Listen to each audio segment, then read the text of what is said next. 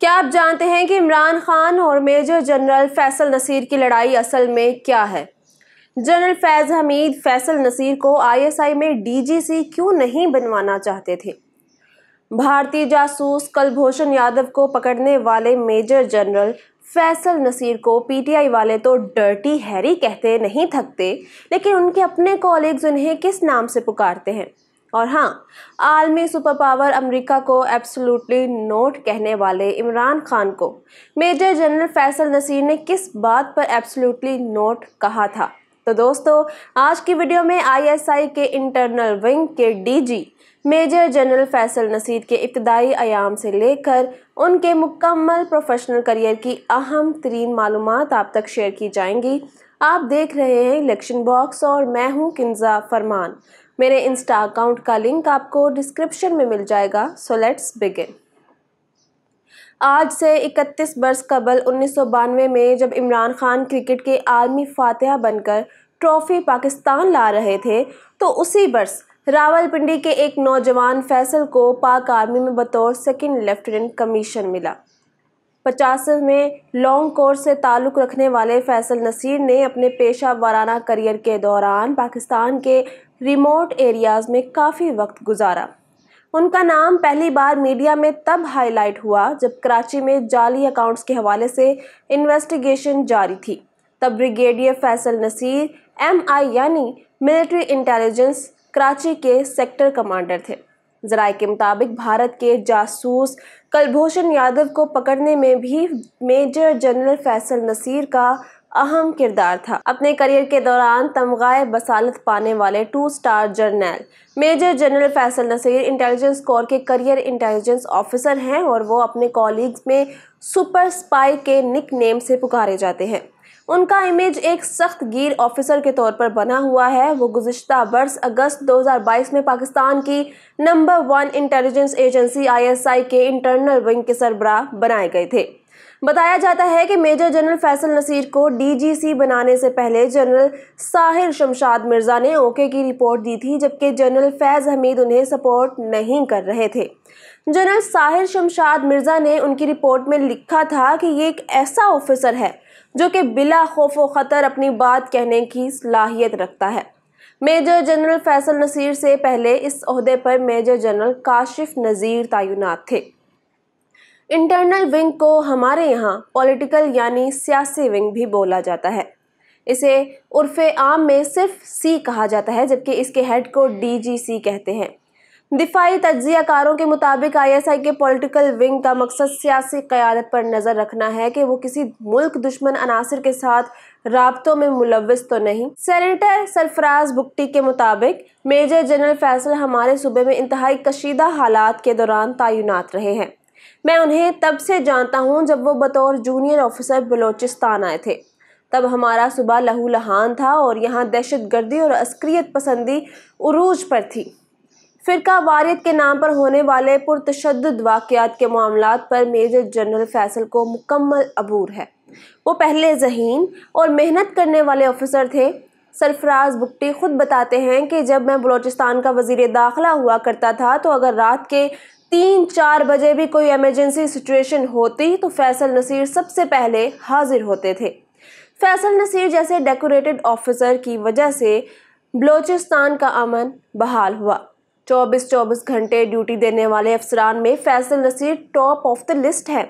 हमने उन्हें लश्कर जंगवी और बलोचिस्तान में सरगर्म दीगर मिलिटेंट ग्रुप्स के खिलाफ जहानत, फतानत के साथ और प्रोफेशनली काम करते देखा। अपने करियर के दौरान मेजर जनरल फैसल दो मरतबा बलोचिस्तान में तैनात रहे। फैसल नसीर पाकिस्तान के वो इकलौते थ्री स्टार मेजर जनरल हैं जिनके यूँ बाजारों, चौकों, चौराहों और शाहराहों पर बैनर्स आवेजा हैं। इससे कबल four star general Raheel Sharif की रिटायरमेंट के मौका पर ऐसे बैनर्स लगाए गए थे कि जाने की बातें हुई पुरानी, खुदा के लिए अब आ जाओ। आज की बात करें तो सोशल मीडिया पर जनरल सैयद आसिम मुनीर और मेजर जनरल फैसल नसीर की फ़ोटोज़ लगाकर हमारी फ़ौज हमारा फखर के ट्रेंड्स चलाए जा रहे हैं। इमरान खान पर होने वाले कातिलाना हमले के बाद उनकी जानब से इस कत्ल की मनसूबाबंदी का इल्ज़ाम जिन तीन लोगों पर लगाया गया था, उनमें शहबाज शरीफ और राना सनाउल्ला के अलावा तीसरे शख्स मेजर जनरल फैसल नसीर थे। पहले पहल तो पाक फौज के ऑफिसर का नाम लेने से इज्तनाब किया गया और इशारों कनाइयों में उनका ज़िक्र किया जाता। तब पाकिस्तानी पब्लिक ने पीटीआई क़यादत की ज़ुबान से पहली बार डर्टी हैरी का लफ्ज़ सुना। डर्टी हैरी असल में 1971 में रिलीज़ होने वाली हॉलीवुड फ़िल्म का एक फिक्शनल करेक्टर है। ये एक इंस्पेक्टर का किरदार होता है, जिन्हें उनके साथी डर्टी हैरी कहकर पुकारते थे। क्योंकि वो ख़तरनाक मुजरमों को गिरफ़्तार करके जेल में डालने के बजाय खुद ही उनका इनकाउंटर कर देते। वो इस फ़िल्म में एक सीरियल किलर को मारने के लिए कई बार कानून की धज्जियाँ उड़ाते हैं। सबक वज़ीर अजम इमरान खान शुरू शुरू में अपने जलसों में डर्टी हैरी का लफ्ज़ इस्तेमाल करते रहे, लेकिन वो नाम लेने से गुरेजा थे। एक मौका पर उनका ये कहना था कि इस्लामाबाद में एक डर्टी हैरी आया हुआ है, उसे लोगों को नंगा करने का शौक है। मेजर जनरल फैसल नसीर का नाम पहली बार सेनेटर आज़म सवाती ने लिया था और उनका इल्ज़ाम था कि दौरान हिरासत मेरे पर तशद और नंगी वीडियोस बनाने के पीछे ब्रिगेडियर फ़हीम और मेजर जनरल फैसल नसीर हैं। उन्हीं दिनों में डॉक्टर शहबाज गिल का वो बयान भी आपने सुना होगा, जब वो कहने लगे, अगर इजाज़त हो तो हम शलवारें पहन लें। खैर, अगले चंद हफ्तों में इमरान खान भी मेजर जनरल फैसल नसीर का नाम एलानिया लेने लगे। उन्होंने एक मौका पर army chief general Qamar Javed Bajwa से मुतालबा किया कि मेजर जनरल फैसल नसीर को अहदे से हटाया जाए या उनका तबादला किया जाए। नून लीग के करीब समझे जाने वाले सहाफ़ियों की मान कर चलें तो इमरान खान का मेजर जनरल फैसल नसीर से इख्लाफ सिर्फ़ और सिर्फ़ ये है कि वो इमरान खान को सपोर्ट क्यों नहीं करते। इमरान खान हर सूरत में इकतदार हासिल करना चाहता है, इसलिए वो अपनी हुकूमत के दौरान नाकामियों का ज़िक्र करने के बजाय ये कहते हैं कि जब पीडीएम उनके खिलाफ जमहूरी तरीके से अदम अतमाद लाई थी तो उस वक्त आईएसआई ने उनकी मदद क्यों नहीं की? हामिद मीर के मुताबिक इमरान खान ने वजीराबाद हमले के बाद मेजर जनरल फैसल नसीर से मुलाकात के लिए पैगाम भिजवाया। तो मेजर जनरल फैसल नसीर का जवाब था, एब्सोल्युटली नॉट। तब से इमरान खान ने उन पर इल्ज़ाम लगाने शुरू कर दिए। दोस्तों, ऐसा पहली बार नहीं हुआ कि सियासी क़्यादत ने डीजीसी पर इल्ज़ाम की बौछार की हो। माजी में भी इसकी नज़ीर मौजूद है। आज से चंद बरस कबल major general Irfan Malik ISI के इंटरनल विंग की सरबराही कर रहे थे तो मरियम नवाज़ ने उन पर और उनके बॉस जनरल फैज हमीद पर सियासी मुदाखलत के इल्ज़ाम लगाए थे। यहाँ मैं आपको बताती चलूँ, आईएसआई के सबक सरबराह लेफ्टिनेंट जनरल फैज हमीद, जिन दिनों मेजर जनरल थे तब वो भी डीजीसी रहे। आपको याद होगा कि नवंबर 2017 में तहरीक लब्बैक के सरबरा अलामा खादिम हुसैन रिजवी ने कई रोज़ तक निज़ाम हुकूमत को मफलूज किए रखा। टीएलपी वालों को फैज़ाबाद धरने का फैज़, जनरल फैज़ की वसात से मिला।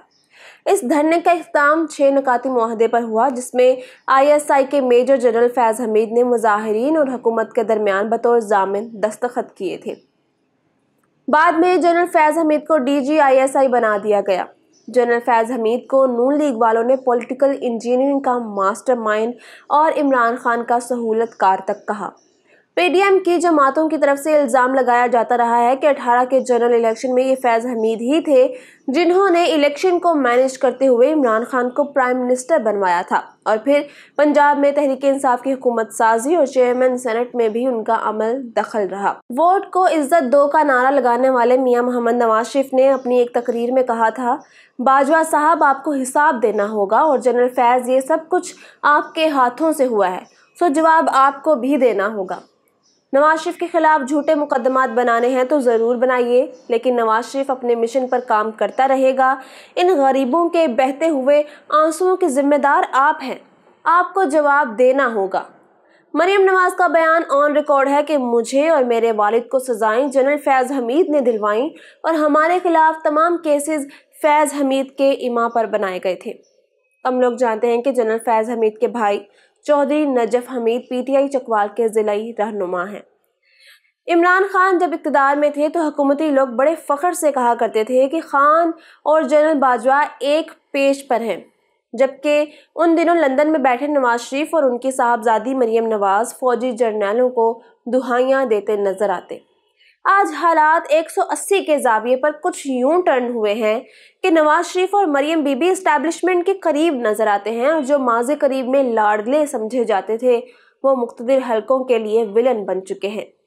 आपको याद होगा कि इमरान खान के दौरे हुकूमत में सुहेल बड़ाइश की ये कंपनी नहीं चलेगी के नाम से किताब प्रिंट हुई थी। इस किताब के टाइटल पर इमरान खान और पाक फौज के सिपा सलार का कार्टून बनाया गया था। किताब मार्केट में आते ही जब्त कर ली गई। इसके चंद हफ़्ते बाद कंपनी तो यही चलेगी के नाम से किसी गैर मारूफ लिखारी की किताब छपी, जिसमें कप्तान के सिपा सालार के साथ मिसाली ताल्लुकात की दर्जनों कहानियाँ लिखी गई थी। मैं उम्मीद करती हूँ कि आज की वीडियो आपको पसंद आई होगी। अगर आप आईएसआई के सबक सरबराह जनरल फैज़ हमीद पर डॉक्यूमेंट्री देखना चाहते हैं तो यहाँ ऊपर क्लिक करें। बुशरा मानिका की बायोग्राफी जानने के लिए यहाँ नीचे और जनरल सैयदासी मुनीर के फैक्ट्स आपको यहाँ मिलेंगे। वीडियो को लाइक और शेयर करें, इलेक्शन बॉक्स सब्सक्राइब कर लें और हमारी वीडियोस देखते रहें। अल्लाह हाफिज़ और नास